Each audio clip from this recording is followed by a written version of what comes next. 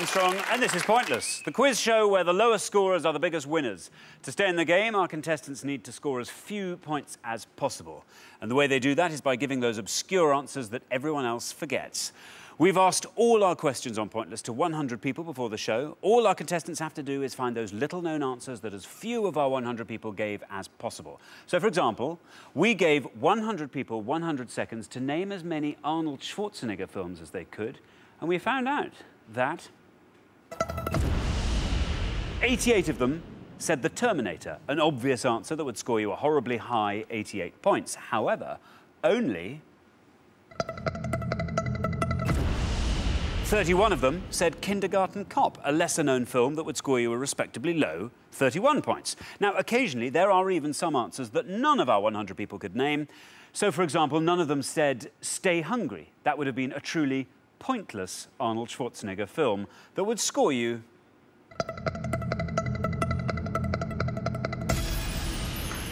absolutely nothing. That's what you want. And if you find any of those, then we will add £250 to today's jackpot. So, before we go any further, let's meet today's players. George and Katie, welcome back. We give everyone two chances to reach the pointless final, and today is your final chance. Can you remind us how you did last time? Not so well, unfortunately, mainly down to me. So I'm hoping to do better this time. So my granddad, who I call Opa, will not stop speaking to me. Opa? Yeah, Opa. That's nice. German. German. Yeah. I'm, not, I'm not German. We were in Germany when grandmother discovered she might be called grandmother, so we adopted the German. Oma and Opa. I guess.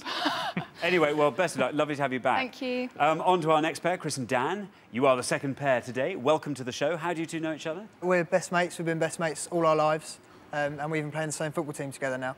Best friends? Well, let's hope you'll still be best friends at the end of the show.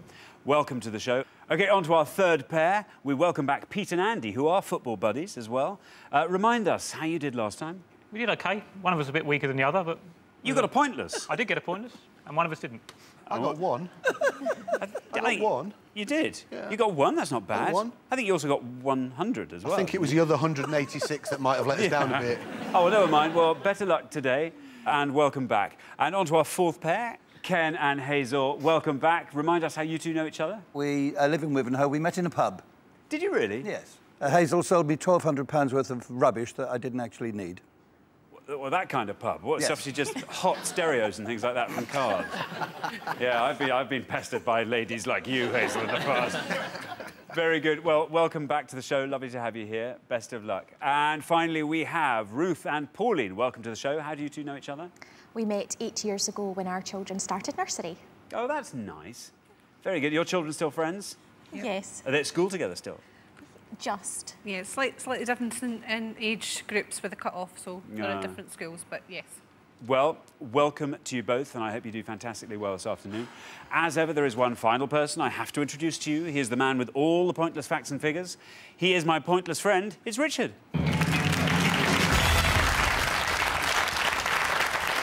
How are you, Richard? I'm very well. How are you? I'm very well. As always, you don't know any of the questions or any of the answers that are coming up on today's show. They're all in here. Uh, so what I'll do at the end of each round is take you through all the pointless answers. Those are the things that none of our hundred said. So if you're playing along at home as well, you'll find out exactly how well you've done. I'll also take you through the most obvious answers. You know, the the, the ridiculous ones that people shouldn't say. I think question three today is a very tricky one. Question, Question three. three. So round three is going to Yeah. be a tough one, but it'll be a tough one for everyone. Well, I'm looking forward to that. Yesterday's finalists, Saeed and Tony, won the jackpot of £5,000. So today's jackpot total stands at £1,000. There it is. But remember, if you find some pointless answers along the way, each one of them will add £250 to that amount. Let's play Pointless.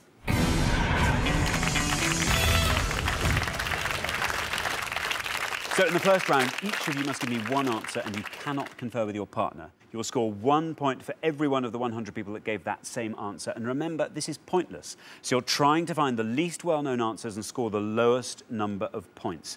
If anyone gives me an incorrect answer, they will, I'm afraid, score the maximum of 100 points. So do be careful. If you do give an incorrect answer, this will happen. You really don't want to see that. At the end of the round, your combined scores will be totalled up and the highest scoring pair will be eliminated.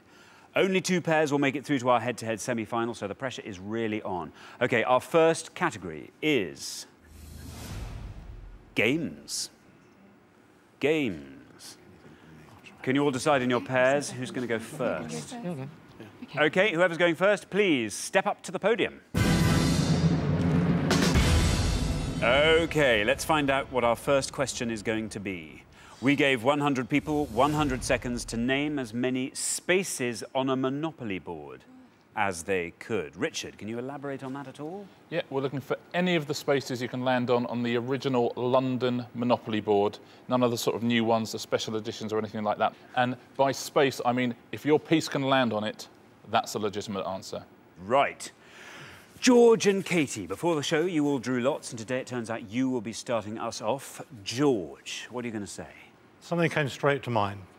Fenchurch Street. Remember, you are looking to score as few points as possible. Let's see how many of our 100 people said Fenchurch Street. It's the right answer. Oh, it's good, it's good. Look at that, 12! That, of course, means that 12 of our 100 people said Fenchurch Street. On to our next pair, Dan and Chris. Dan, what are you going to say? Uh, I'm going to go for Vine Street. OK, we're looking for nice, obscure spaces on the Monopoly board. Let's see how many of our 100 people said Vine Street. It's good. It's going down, look at that. Oh, it's good, nine. Yep, that means that nine of our 100 people said Vine Street. OK, we are looking for spaces on the Monopoly board. More obscure, the better. On to our third pair, Pete and Andy. Pete, what are you going to say? I'll go for Northumberland Avenue. We want to score as little as possible. Let's see how many of our 100 people said Northumberland Avenue. It's a correct answer. It's good.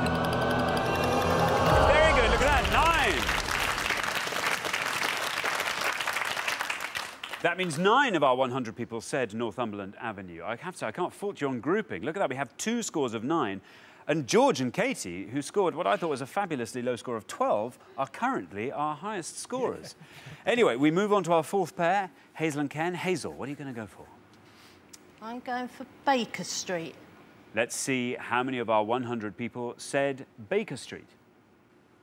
Oh, no! Bad luck. Unfortunately, that is a wrong answer. That means I'm afraid you score the maximum of 100 points. Great news for George and Katie, but bad news for Hazel and Ken. On to our fifth and final couple, Ruth. I'm going to go for the electric company. Oh, very good. We'd all forgotten about the electric company. Let's see how many of our 100 people also forgot about that. How many of them said the electric company? It's good. I feel this is going to be a good one. Down it goes, 20.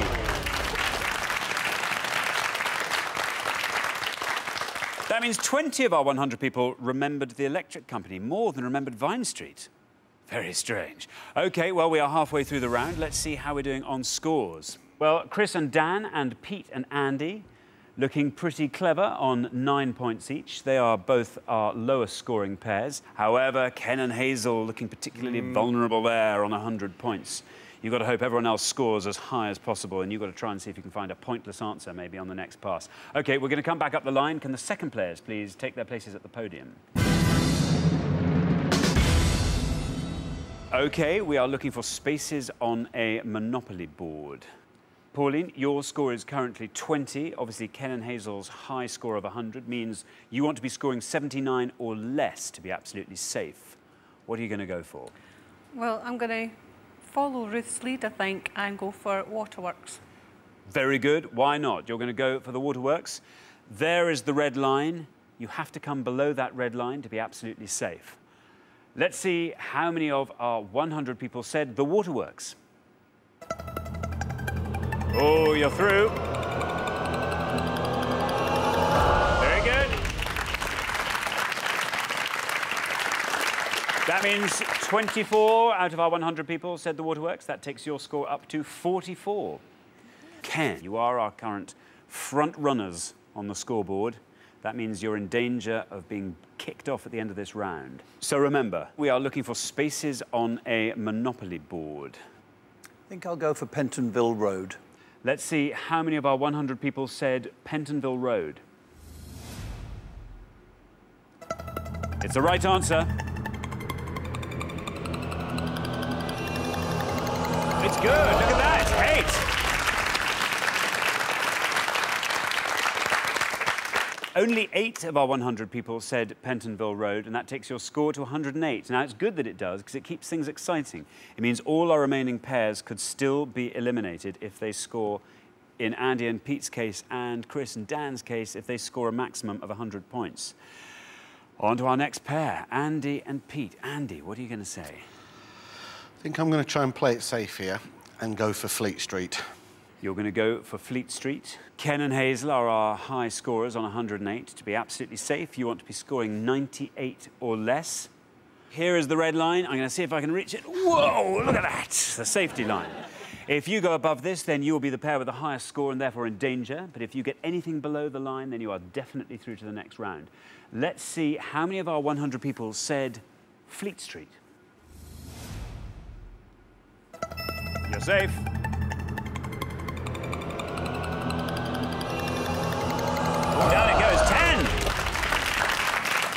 Well done, Andy. That means only 10 of our 100 people said Fleet Street. That gives you a total of 19. Now, Chris and Dan. Uh, I'm going to go Angel Islington. The Angel Islington. Ken and Hazel are still our high scorers at the moment. To be absolutely safe, you want to be scoring 98 or less. There is that red line just below the pink. Let's see how many of our 100 people said the Angel Islington. You're through.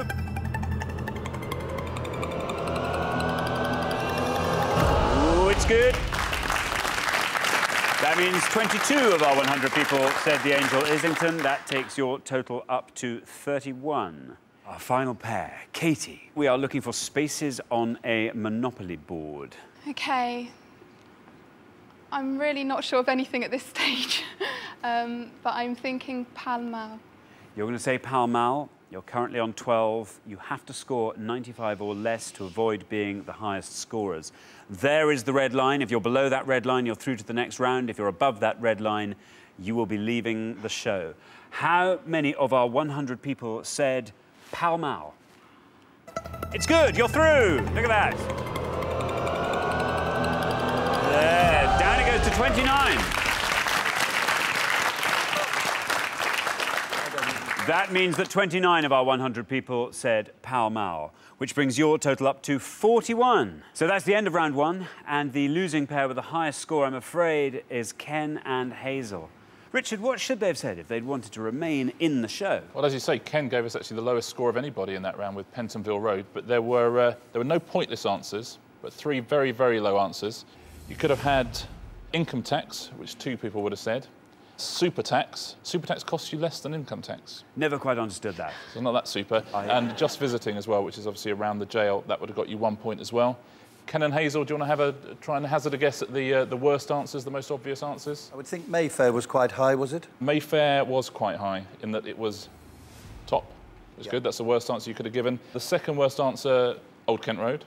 Oh, was it? Yeah. Interesting. And the third one was Park Lane was third. Thanks, Richard. Well, Ken and Hazel, that was your second and final chance on the show. I mean, you just don't have that pointless knowledge, clearly, to get through to the final. But uh, thanks so much for playing. It's been lovely having you on the show. Thank you. For the remaining four pairs, though, it's time for round two.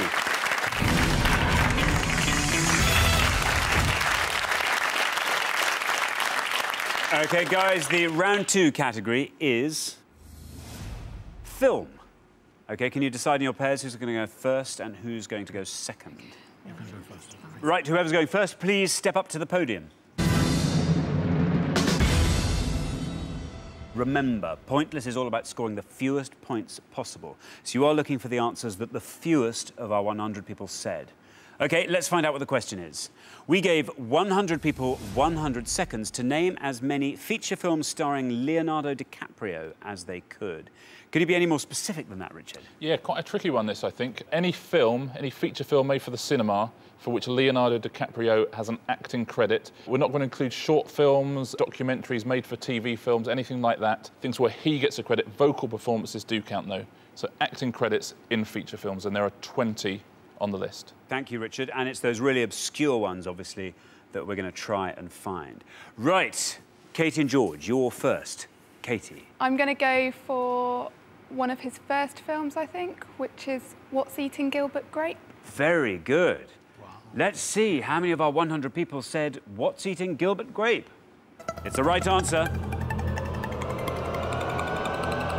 It's good. Look at that. Down it goes. 10 points.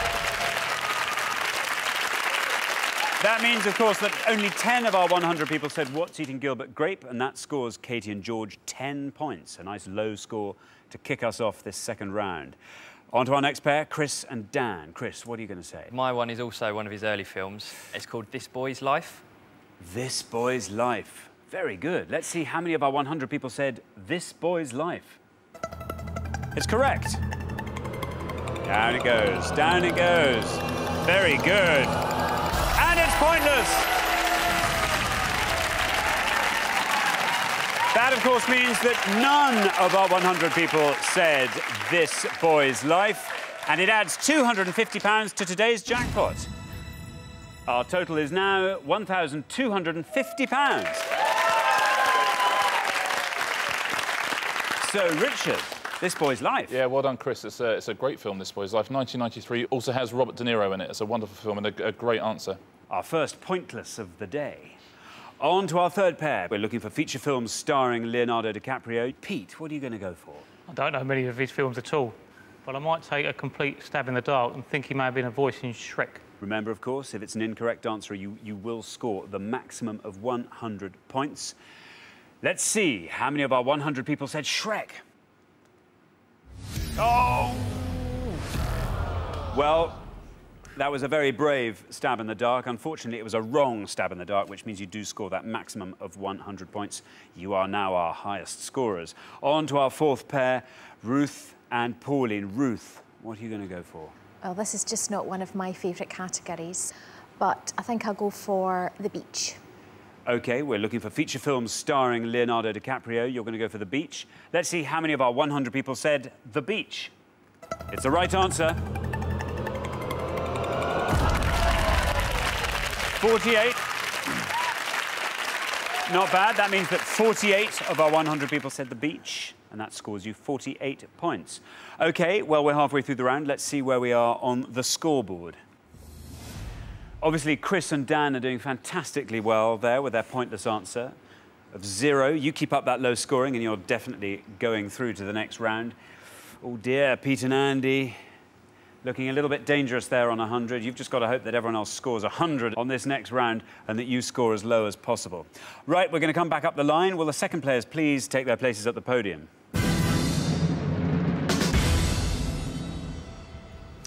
OK, Pauline, we're looking for feature films starring Leonardo DiCaprio. OK, um, there's two that I'm thinking of, but I'm going to pick Romeo and Juliet.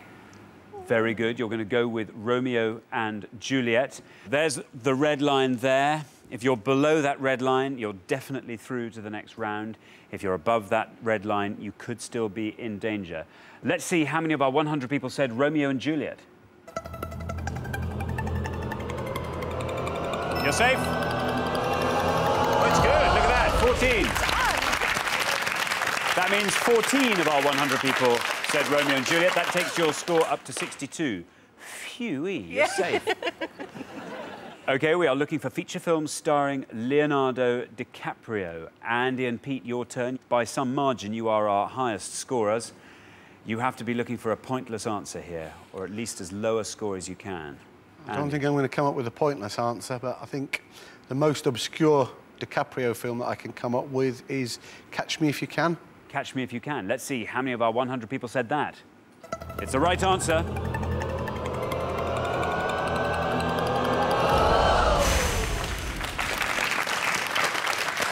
That's not bad.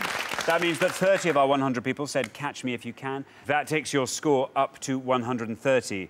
I'm afraid that means you are definitely eliminated at the end of this round because you are so far ahead that even if Dan and Chris and George and Katie score 100 points, they still won't overtake your high score. But for the remaining pairs, there might be some more pointless answers out there, and each one of those will add £250 to our jackpot. So, Dan and Chris, what's it going to be? I'm going to go for Blood Diamond. Blood Diamond, very good. Let's see how many of our 100 people said Blood Diamond. It's good. It's not bad. Look at that. Down it goes. 16. That means 16 of our 100 people said Blood Diamond. That takes your score up to 16. OK, we're looking for feature films starring Leonardo DiCaprio. George. Alexander, I don't care. Titanic. Well done. Come on. Let's live a little, as they said on the Titanic. Let's see how many of our 100 people said Titanic. 88. That means 88 of our 100 people said Titanic. It's good enough. That takes your score up to 98. You're safe. You're sailing into the next round. So at the end of round two, the losing pair with the highest score, I'm afraid, Pete and Andy. Never mind. Bad luck, guys. It just wasn't your, wasn't your area, I guess. Schwarzenegger, yep. DiCaprio, DiCaprio. Pretty boys. Not interested. Ah. Richard, what other answers were there in there? There were six pointless answers. These are the answers that none of our 100 people could remember. There's Celebrity, which is the Woody Allen movie uh, from 1998. He was in that. That was pointless. Critters 3, the um, much hyped follow-up to Critters 1 and 2. That was Leo's first ever film. Marvin's Room, which uh, again is De Niro. And there are three others. Poison Ivy with Drew Barrymore, that was a pointless answer, nobody gave that. This Boy's Life we've already had from Chris, and Total Eclipse, which was a, a movie with David Thewlis, which I have to admit I've never heard of. We've already had the three worst possible answers. Pete and Andy gave us uh, Catch Me If You Can, which was third. Second, Ruth said The Beach. And the top answer, George, not giving a care, said uh, Titanic, which got 88. Pete and Andy, that was your second and final chance on the show. You clearly just didn't have that pointless Leonardo DiCaprio knowledge. It's been great having you on the show. Thanks so much for playing. Thanks ever so much. But for the remaining three pairs, it's time for round three.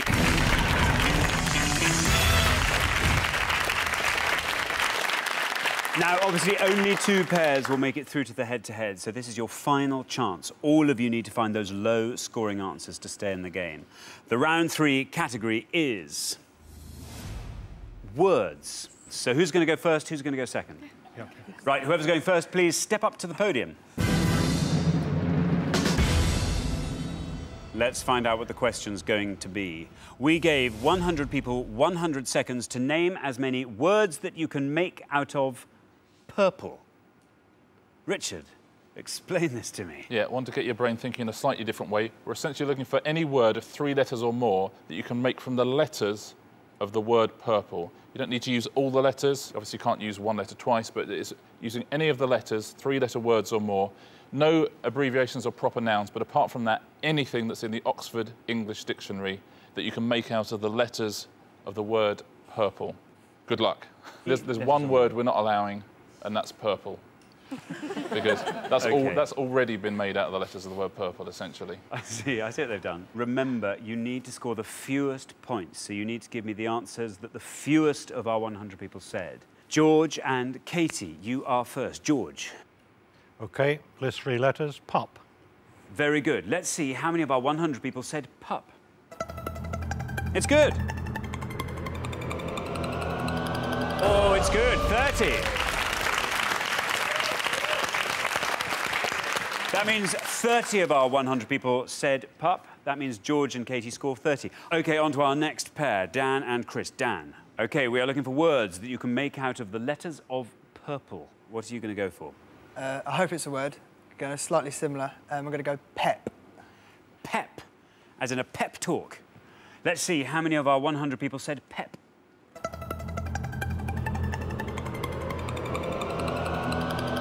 Oh, it's good. Down to eight. That means eight of our 100 people said pep.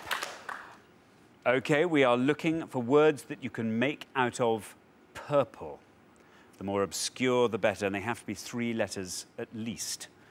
On to our third pair. Pauline, what are you going to say? I, I'm going to go for a four-letter one. Purl, P-U-R-L. P U R L.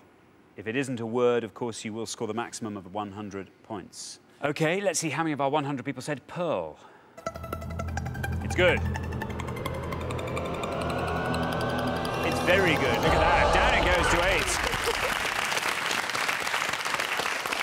That means eight of our 100 people said purl, and it scores you eight points. Richard, purl. Yeah, purl, essentially it's a term used in knitting or embroidery, as in knit one, purl one, sort of thread. Very good. I've just learnt something. OK, well, we are halfway through the round. Let's see where we are on the scoreboard. Doing incredibly well with a low score of eight is Ruth and Pauline and Chris and Dan. If you can keep up those low scores, you're cruising through to the next round. I'm afraid, though, George and Katie looking a little bit dangerous there on 30. You've got to try and find a really low score and hope all the others score high. OK, we're going to come back down the line. Can the second players please take their places at the podium?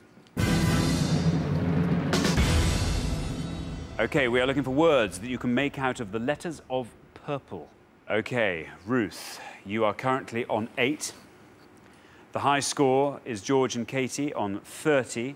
So to be absolutely safe, you want to be scoring 21 or less. What are you going to give me? Lure, L-U-R-E. Lure, L-U-R-E. Let's see where that red line is. There we are. To be absolutely safe, you want to be coming in below that red line. Let's see how many of our 100 people said lure. It's correct.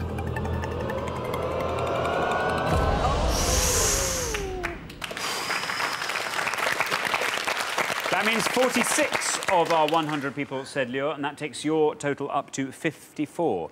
You are now our high scorers. OK, on to our next pair, Chris and Dan. Our high scorers, I say, Ruth and Pauline on 54.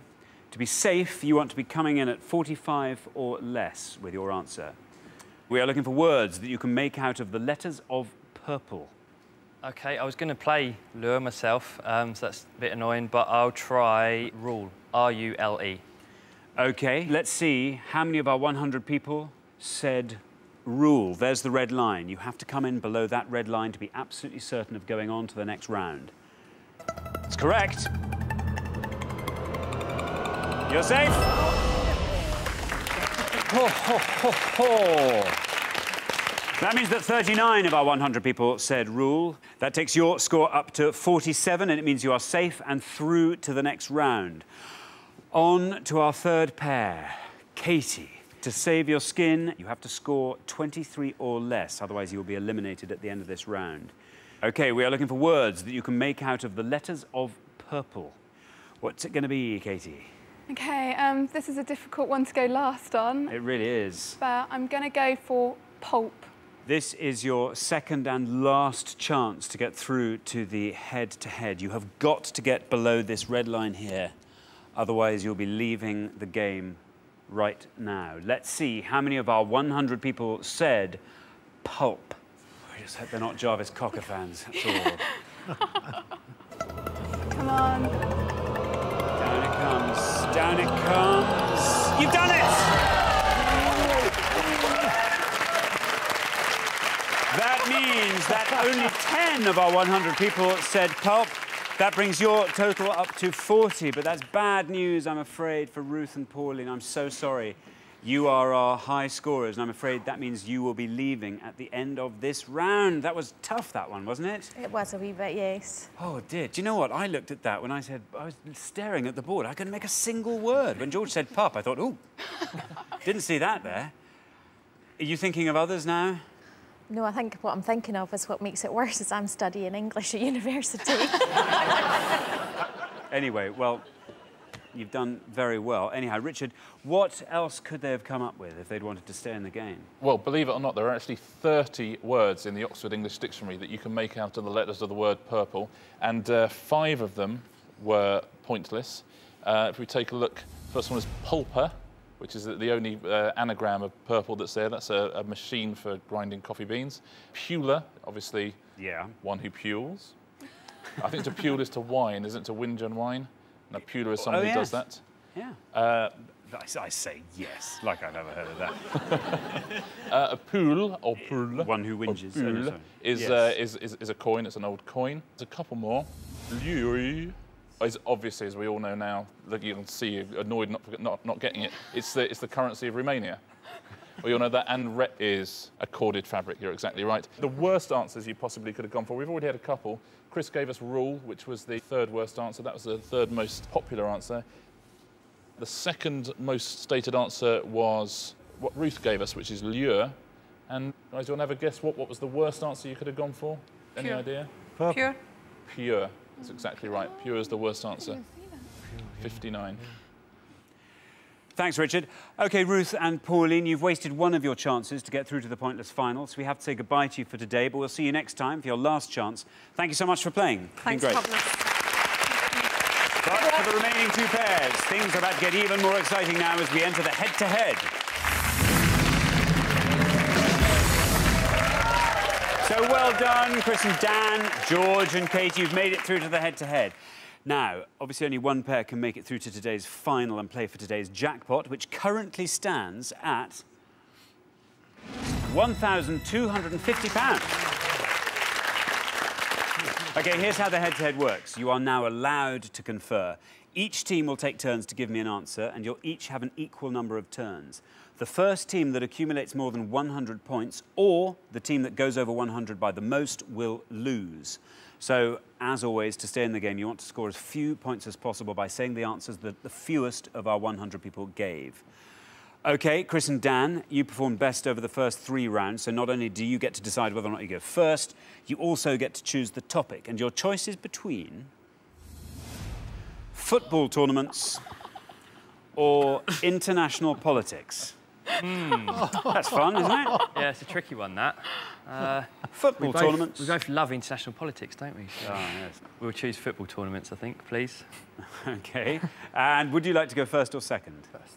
First, please. OK, football tournaments, and you're going to go first. Let's play Pointless.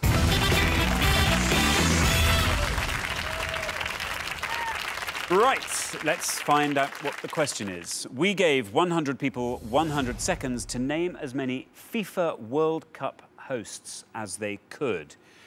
Richard. We are essentially looking for any of the 15 nations that have hosted the FIFA World Cup since it began in 1930. The countries that have hosted the World Cup. And on those occasions where there have been co-hosts, we will accept either of them as individual answers. Best of luck. Chris and Dan, your first turn. What do you think? What do you think? First answer, we'll play with Sweden. Remember, if it's an incorrect answer, you will score the maximum of 100 points. First answer, Sweden. Let's see how many of our 100 people said Sweden. It's the right answer. Oh, it's good. Look at that. 14. That means 14 of our 100 people said Sweden. Your score after the first answer is 14. George and Katie. We were really dreading this. Uh, we've come up with nothing. I'll go for Luxembourg. We're going to go for Luxembourg. We're looking for FIFA World Cup hosts. Let's see how many of our 100 people said Luxembourg. Oh!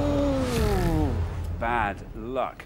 That means it is an incorrect answer and you score the maximum possible of 100 points. You haven't yet gone over 100. You still get another turn. You just got to hope that Chris and Dan go way over 100 with their next answer. Okay, we are looking for FIFA World Cup hosts. You've each had one answer. George and Katie are on 100. Chris and Dan are on 14. Chris and Dan, you need to be careful now. Your next answer could take you over 100 points, and you could risk leaving the game. Your next answer needs to score you 85 or less to avoid going over 100. Our next answer is going to be Mexico. Okay, there is the red line that you have to come below to avoid getting over 100.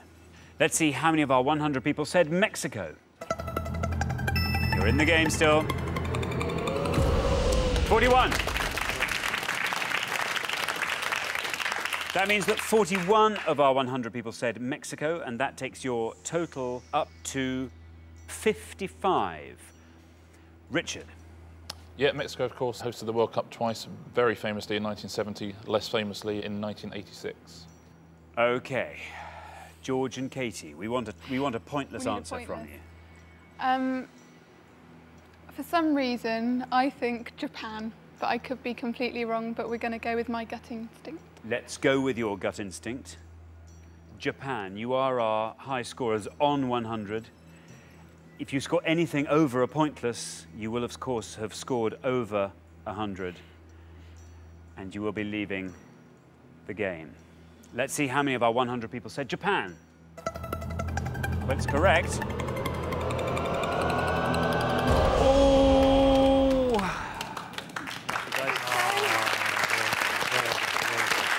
26 of our 100 people said Japan, and that takes your score up to 126. Well, you've had two turns each. And George and Katie, I'm afraid you've gone over 100 points. So I'm afraid that means you are off the show. That wasn't your strongest suit, was it? No, and we knew these guys knew football well, so we were like, as long as sport doesn't come up, we'll be okay. Well, such bad luck. It is always the luck of the draw, and they get tougher and tougher, these rounds, as we get nearer the final. Richard, what other answers were there that they could have gone for? Well, there were no pointless answers, but the, the, the three most obscure, we've already had one from Chris and Dan, which was uh, Sweden, which was the 1958 World Cup won by Brazil.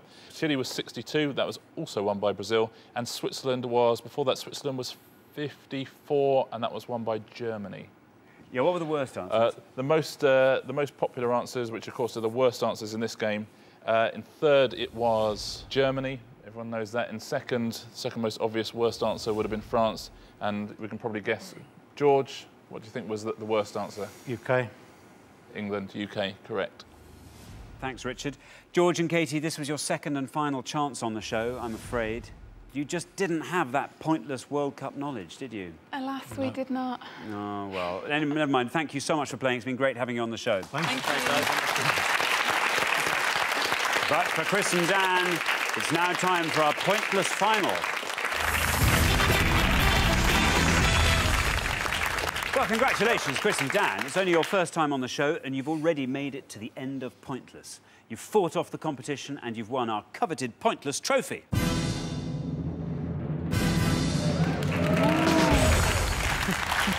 know that. Now you've got a chance to win our pointless jackpot. Today's jackpot stands at £1,250. Okay, the rules are very simple. To win the money, all you have to do is find a pointless answer that none of our 100 people could think of. We've had one pointless answer today, which you gave, Chris. All you have to do is find another one. Okay, first you've got to choose a category from these three options, and you can go for British sporting legends, American actresses, or prize-winning artists. And I've got to tell you, prize-winning artists has now been on the shelf for five shows, so this is its last chance. So uh, go, for, Snap go, for, up go for prize-winning artist. Yeah, I don't think prize winning artist. I think it's got to be top one, isn't it? Yeah. British sporting legends, I think. Fingers British crossed. sporting Yeah, I think- legends. Okay, well, let's find out what the question is. So, we gave 100 people 100 seconds to name as many BBC sports personalities of the year as they could. Richard, fill us in. Yeah, we're essentially looking for anyone who's won the, uh, the BBC's Sports Personality of the Year since it started in 1954. Years where there are joint winners will take each of those people as winners. Well, thanks, Richard. OK, you now have one minute to come up with three answers. And all you need to win that £1,250 is for just one of those answers to be pointless. OK, your 60 seconds start now. Right, what do you think? I don't think we can go. We don't know too many early ones, do we? No. Did um, Zara Phillips, we recent, like maybe three or four years ago, she won it, I think. She has. I, I think she did win it. But will people know it because it's new? Yeah. Uh, Who else we got? Redgrave. Older ones. Redgrave, yeah, he's quite big though, isn't he? Who's older? Uh, got a bit About of time. tennis. What about someone like, I don't know, one of the women like Virginia Wade or someone Yeah, like that? Gamble it? someone like that. Yeah. And what about maybe racing drivers? Mansell? Mansell. Damon Hill. Um, Did he come close? Damon Hill might have done. He won the world championship, didn't he? So he might have done like mid 90s. Um, footballers. Michael Owen, did he win it, I think? Beckham's done it, but 20 everyone will say him. Everyone will say that's too obvious. Um, so we go with the gamble. what about Like- old school, really old? I don't know, Roger Bannister or something like that. I don't know if he would have won it. It's probably Yeah. too far. I think boxers as well. Boxers, Henry Cooper. Uh, Try that. go that. Virginia Wade. Three, and Zara Phillips. and two, Zara Phillips. One. And your time is Okay. up. Right, give me your three answers. Uh, yeah, we're going for Zara Phillips, Yep, uh, Virginia Wade, yep. And we'll try uh, Henry Cooper.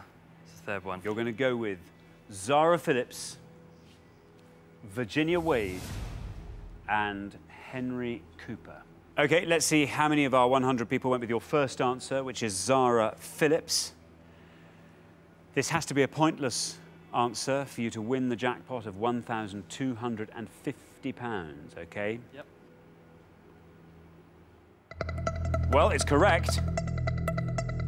This really has to be pointless.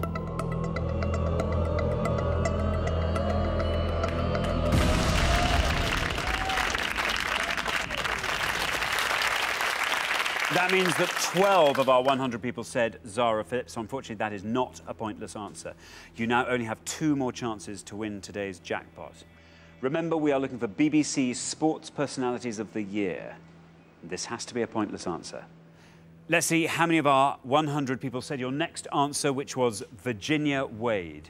If it's an incorrect answer, obviously, you'll only have one more chance to win the jackpot. It's correct. This has to be pointless. For £1,250, down it goes. Oh, and it is! How fantastic! Congratulations, you managed to find that all-important pointless answer. That means you go home with a jackpot of £1,250. you weren't even sure that was a, a, a real answer. Oh, mate. That was very good. I liked, I liked the way you're deducing that beforehand. Um, oh, dear, oh dear. Tell That was what. touch and go, wasn't it? Yeah, I didn't think that. I thought that was wrong. It was a complete guess, but good on Virginia Wade. We'll send her a little bit of that. No, we won't. No, we won't. I should think not. So, Richard, what else could they have gone for? Well, Virginia Wade, very good, of course, won in 1977, the same year she won Wimbledon. There were, there were actually 26 pointless answers there. There's all sorts of uh, all sorts of different ones. Torvill and Dean, they both uh, they both won it. Uh, Virginia Wade, we've seen. Stirling Moss, the racing driver. Gazza, unbelievably won Sports Personality of the Year. 1990. Uh, Torvill and Dean there. Steve Cram won it. Nobody, nobody went for Steve Cram. There's an extraordinary list of names. And Henry Cooper wasn't pointless. So it's very lucky that Virginia Wade was. Henry Cooper got two points. Oh. Two. Oh, that would have been harsh. Well done. Well, you, you got Virginia Wade. That was all you needed, and you win today's jackpot of £1,250. Very well done to you. Goodbye, and thanks for being on the show. It's been great to have much. you. It's been brilliant. So Chris and Dan won today's jackpot. Join us tomorrow when we put more obscure knowledge and forgotten facts to the test on Pointless. It's goodbye from Richard. Goodbye. And it's goodbye from me. Goodbye.